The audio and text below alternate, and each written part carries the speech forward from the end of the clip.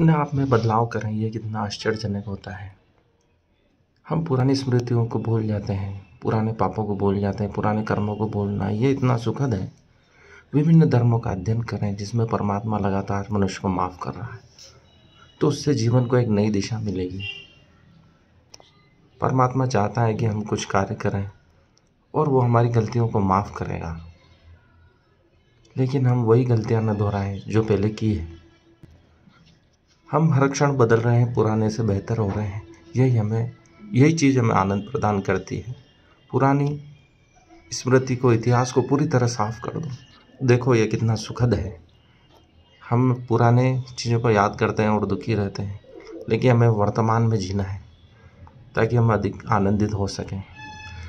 पुराना जो किया, वो मैंने किया ही नहीं, ऐसा मानकर चलें। अब जो कर रहे हैं, वो अधिक बेहतर है। यह चीज़ हमें सुख प्रदान कर सकती है। आनंद प्रदान कर सकती है। फिर देखें जीवन कितना सुंदर होता है। हम पुराना, पुरानी स्मृतियों को ढोते रहते हैं और दुखी होते रहते हैं।